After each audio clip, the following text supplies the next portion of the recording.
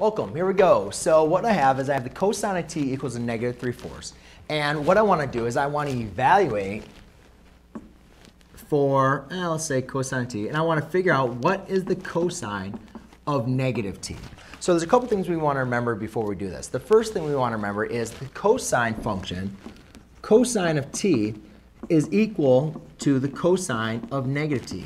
It's an even function, and we could say this the same way. I could say f of x is equal to f of negative x. That's kind of our definition of an even function. So therefore, no matter what cosine of t is, the cosine of negative t, if I'm going to evaluate that, I'm still going to get the exact same value out.